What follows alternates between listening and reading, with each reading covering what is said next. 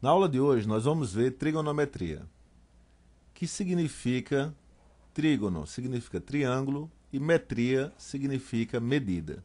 Então nós vamos ver as medidas do triângulo. E esse estudo, ele surgiu para resolver o problema desse tipo. Nós temos uma torre e nós queremos saber a altura dessa torre. Esse é um dos problemas. Um outro problema clássico de trigonometria é, por exemplo, nós termos um rio e a gente quer saber qual é a largura deste rio. São dois problemas clássicos que nós vamos utilizar trigonometria para resolvê-lo. É claro que num primeiro momento, o que a gente pode fazer é pegar uma fita métrica e, no caso, medir isso aqui. Nós vamos saber quanto vale essa altura ou quanto vale essa largura. É claro que nós podemos fazer isso.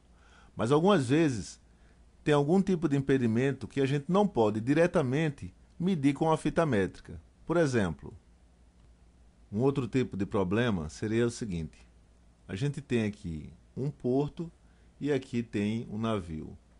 E usando essas técnicas de trigonometria, a gente vai conseguir estabelecer essa distância.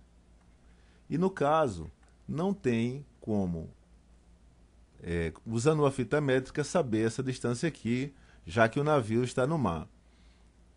Inclusive, o uso dessas ferramentas, ele, eles, são eles foram muito utilizados na astronomia para determinar a distância entre corpos celestes como por exemplo o Sol e a Lua, ou ainda a Terra e a Lua, como usando uma fita medir essas distâncias.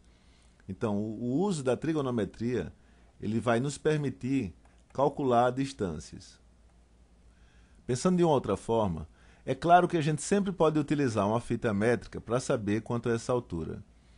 Mas em matemática, a gente sempre pergunta se existe uma outra solução alternativa ou talvez mais prática, de fazer essa medição deste rio, por exemplo, sem precisar necessariamente atravessá-lo, por algum perigo ou alguma dificuldade.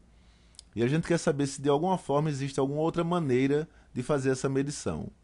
No caso da trigonometria, nós vamos estabelecer, por exemplo, um ponto aqui e formar um triângulo, onde nós vamos ter este ponto, este e este aqui.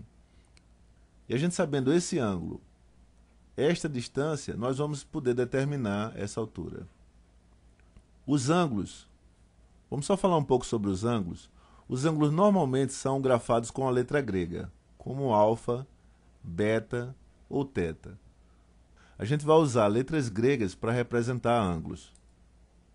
Ou ainda no caso do rio, nós podemos ter um ponto aqui e termos uma árvore no outro lado do rio e, por exemplo, caminhar aqui uns 20 metros, e aí a gente vai ter um triângulo dessa forma, com este ponto, este aqui e esse ponto do outro lado.